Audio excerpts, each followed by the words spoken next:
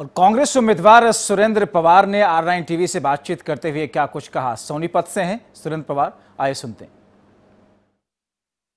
विधानसभा चुनाव को लेकर नामांकन का आज आखिरी दिन है और इस समय हम सोनीपत में हैं।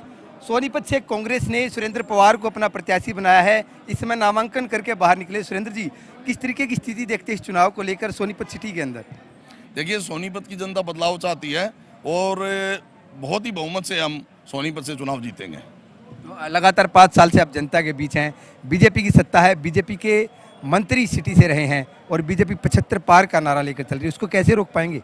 बी, बीजेपी का जो पचहत्तर पार का नारा है वो बिल्कुल ठीक है क्योंकि प्याज पचहत्तर पार डॉलर पचहत्तर पार और डीजल और पेट्रोल पचहत्तर पार उनका नारा बिल्कुल ठीक है और जहाँ के पचहत्तर पार उन्होंने जो पचहत्तर पार का नारा दिया था वो उन्होंने करके दिखाया है क्योंकि प्याज भी पचहत्तर पार हो गया है पेट्रोल भी पचहत्तर पार हो गया है और डॉलर भी पचहत्तर पार हो गया है। सोनीपत शहर की जहाँ तक सीटों की बात है उन्होंने छत्तीसगढ़ में भी कहा था पचहत्तर पार लेकिन लोगों ने सोलह पार नहीं होने दिया पंद्रह भी रोकने का काम किया।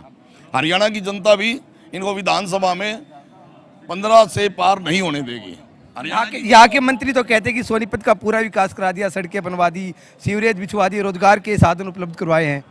देखिए यहाँ की मंत्री तो शुरू से ही झूठ बोलने का काम किया है पहले लोगों के वोट हासिल करने के लिए झूठ बोला और पूरे पाँच साल इन्होंने सिर्फ़ चंडीगढ़ में बैठकर अपनी राजनीति की है।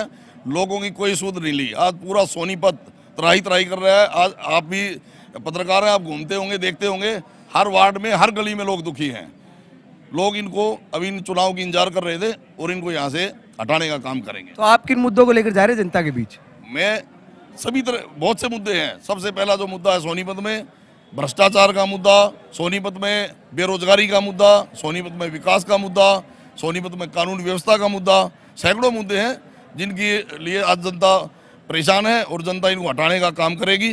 और सोनीपत से ही नहीं, हरियाणा में सभी सीटें जीत कर कांग्रेस सरकार बनाएगी। जो अभी मौजूदा उम्मीदवार हैं, सुरेंद्र पवार मौजूद थे, जिन्होंने कहा कि पिछले पाँच साल में सरकार ने हरियाणा के अलावा सोनीपत में भी कोई ध्यान नहीं दिया और इन्हीं मुद्दों को लेकर वो जनता के बीच जा रहे हैं और जनता का प्यार भी उन्हें मिल रहा है। और इस विधानसभा चुनाव में सोनीपत सीट को वो जीत कर कांग्रेस की झोली में डालेंगे। सोनीपत से कैमरामैन बलवान के साथ Jaideep Rathi, R nine TV.